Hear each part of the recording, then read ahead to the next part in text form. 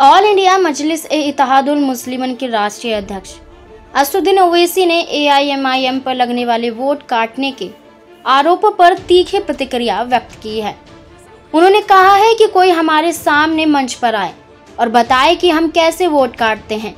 ओवैसी ने कहा कि तर्कों के साथ बात करने के लिए उनके सामने कोई पाँच मिनट नहीं बैठ सकता है। आपको बता दें, सिरसी में कार्यकर्ता सम्मेलन को संबोधित करते हुए उन्होंने ये सब कहा था। उन्होंने कहा है कि सपा और बसपा ने लोकसभा का चुनाव मिलकर लड़ा। तो क्या रिज़ल्ट मिला? इन्हीं दलों के मतदाताओं ने भाजपा को वोट दिया। तब भाजपा की सरकार बनी। अखिलेश यादव को हिंदू वोट नहीं मिला, इसलिए उसकी सरकार नहीं बनी। लेकिन ये बात कोई नहीं कहता। ओवैसी ने आगे कहा कि हमसे पूछा जाता है कि अतीक अहमद को पार्टी में क्यों लिया गया है। वह तो बाहुबली है। सवालिया अंदाज में बोले कि कौन सा दल ऐसा है जिसमें ऐसा नेता नहीं है। जिनके खिलाफ केस दर्ज नहीं है।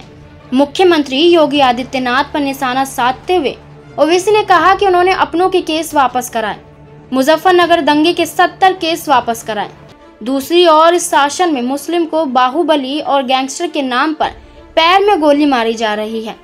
उन्होंने मुजफ्फरनगर दंगे के साथ संभल में नागरिकता संशोधन कानून के विरोध में हुए बवाल के दौरान मारे गए दो युवकों का भी ज़िक्र किया।